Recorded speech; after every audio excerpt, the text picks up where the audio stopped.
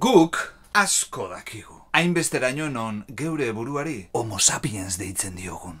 Homo sapiens, bai, izaki jakintxu. Gainera, egia esan, asko dakigu. Badakigu esaterako egitura komplexu linguistikoak ere ikitzen. Kapazak gara esateko adibidez, oraintxe bertan bidaliko nuke itxasua zure belarri atzeko askureak kentzera. Argi eta garbi motzean esan beharrean, oraintxe bertan egingo nukela larrutan zurekin timita batimita batimita ba. Bai, Badakigu egitura linguistiko komplexuak erabiltzen, badakigu logika erabiltzen, bastango behi batek inoiz egingo ez lukeen moduan, badakigu hipotenusa, logaritmoak eta erro karratuak kalkulatzen. Eta sortu ditugu bankuak, patata zuritzekoa bezalako tramankuluak eta ondartza artifizialak. Kontatu gabe smartphone, GPS eta Google Glass betaurrekoak. Asmatu ditugu erligioak, fundatu elkarte gastronomikoak eta badakigu orain bai badakigula lurra limoi baten formakoa eta gustukoa dela. Badakigu eta hause da importanteena akaso, badakigu tortilla patatak egiten. Badakigu, dakiguna dakigula